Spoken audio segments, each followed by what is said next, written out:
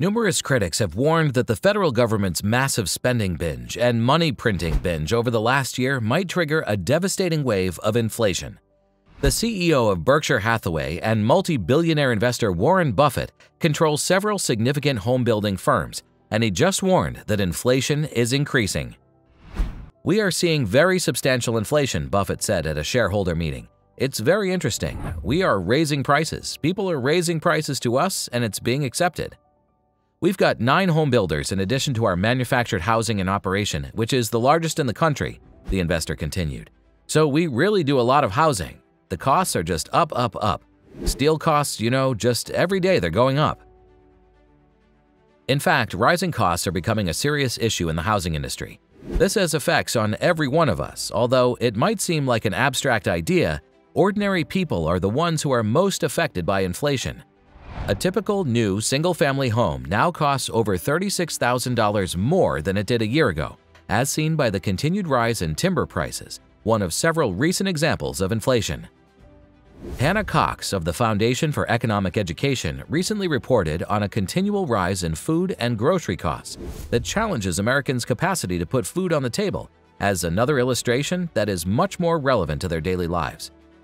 Food prices jumped 3.9% in 2020, Hannah explained. Unfortunately, this trend seems poised to continue. The U.S. Department of Agriculture estimates grocery bills could increase by another 3% in 2021, while some experts are betting on even longer-term problems. She points out that although the cost of beef climbed by 5.5% last year, the cost of fruits like apples and strawberries increased by a staggering 11.3%. Inflation in food and housing is only the beginning.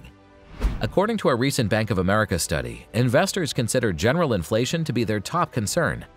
Even some liberally inclined economists are raising the alarm, including former Obama cabinet member Larry Summers, who has a favorable propensity for large-scale spending initiatives.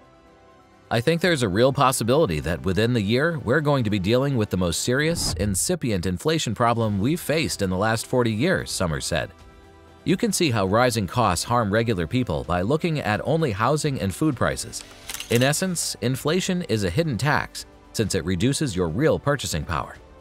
The government steals income from individuals to increase spending without most people acknowledging it. Why Warren Buffett's warning from 1999 is still valid today.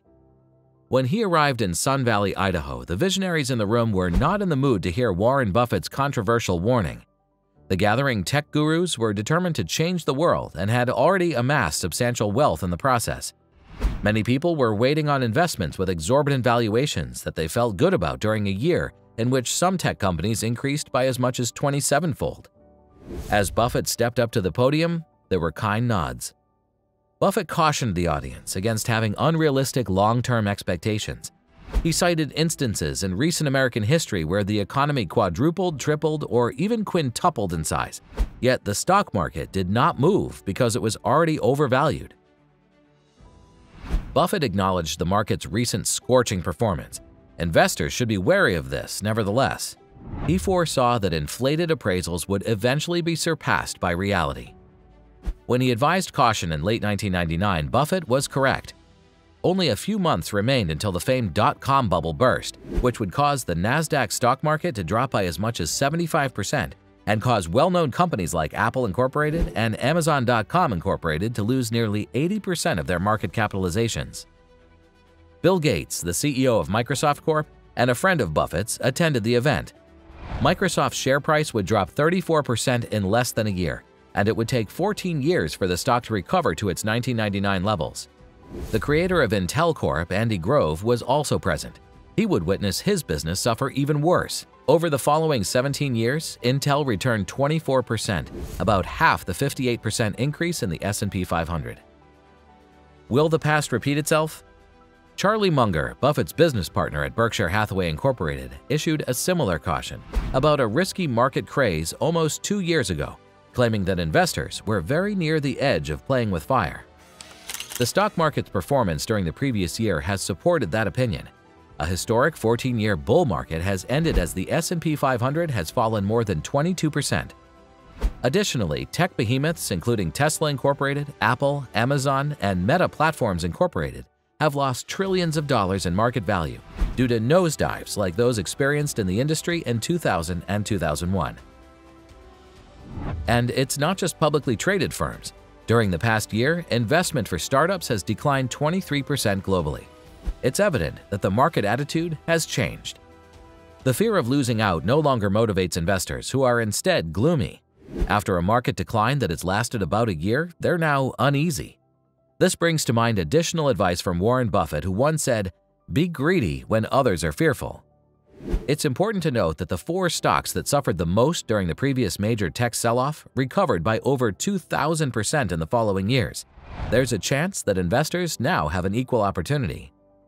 The official data on inflation are confusing and frequently underestimate actual price rises. However, Warren Buffett's caution is only the most recent and a rising body of evidence that inflation, at least in certain vital areas, is becoming a significant concern. That concludes today's video. Thanks for joining us till the end, and we'll see you in the next one. Goodbye.